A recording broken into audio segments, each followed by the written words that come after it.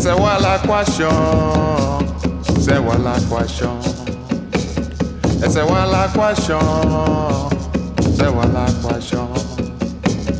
Avec qui tu canta, qui tu canta, qui tu.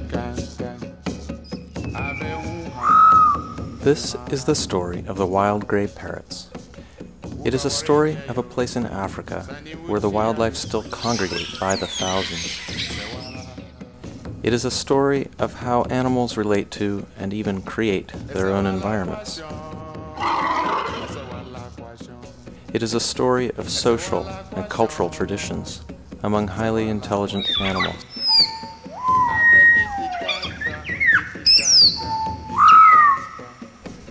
It is also a sad story of the use and abuse of wild animals and the exploitation of wildlife in developing countries. We hope that you'll help us end this sad chapter and secure the future of these amazing wild birds. We all know the African gray.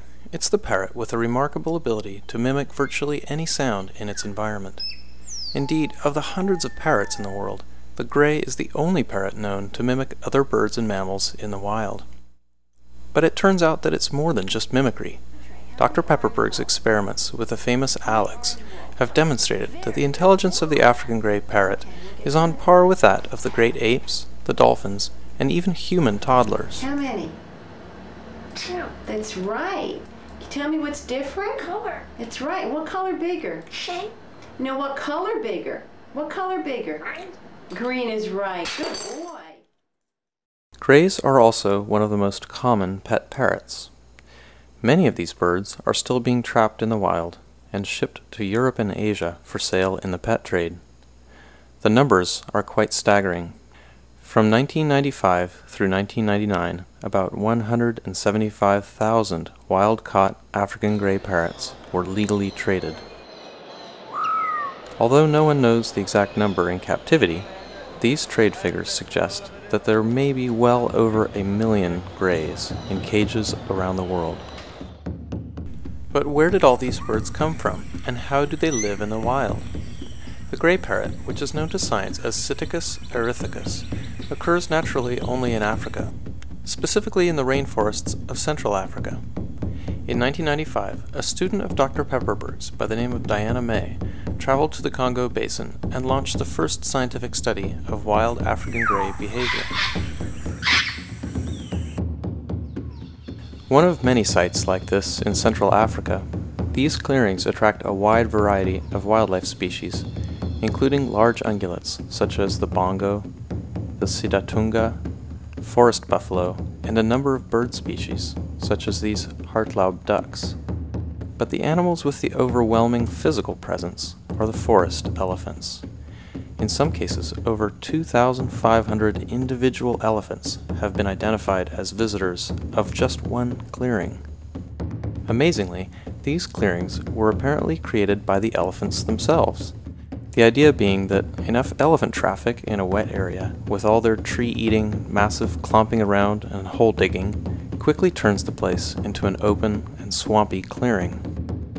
Most of these animals have one thing in common they eat primarily leaves and fruits, and they travel great distances to visit clearings, to eat soil, to drink water, and in some cases to eat special aquatic plants that grow only here in the clearings.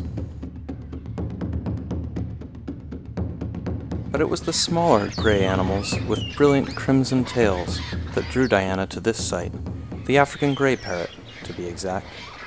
And they come by the thousands, landing, walking, and hopping along the ground. These parrots are after the same water and soil and aquatic plants which are available only in the clearings. On a typical day, the grays arrive early in the morning and congregate in the trees around the perimeter of the clearing. It's a rather noisy assembly because the more grays that arrive and join the group, the louder it gets until eventually the gathering becomes thunderous.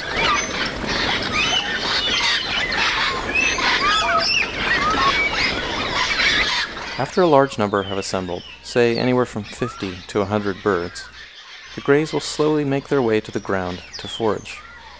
Typically, an individual remains on the ground for only a few minutes before flying back up to the safety of the trees. This relay can go on for a couple of hours, but most often they forage in the clearing for only about an hour. But grays remain at the clearing for most of the morning, and sometimes they forage on the ground past noon, before heading off into the rainforest, where they forage on fruits, seeds, and flowers, and basically get back to being a proper parrot.